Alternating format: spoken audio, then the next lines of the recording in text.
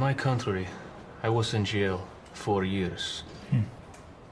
In my country, this is not prison. This is nothing. I don't need money.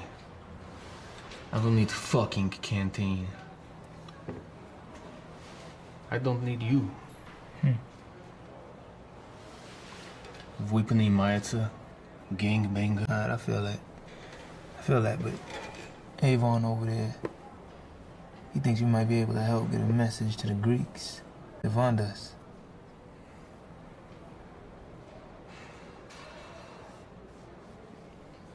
I mean, seeing as you don't need my money, Vondas might be happy to have it. Now that's a real tough guy.